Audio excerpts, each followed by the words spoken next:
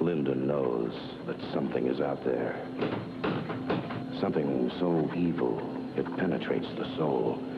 Something lurking in the black of night, so real she can almost taste it. Something is out there, and it's coming closer and closer, and something is out there.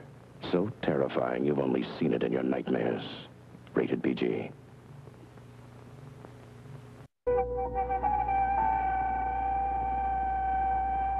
What begins as a pleasant day of hiking in the woods becomes the day of the animals.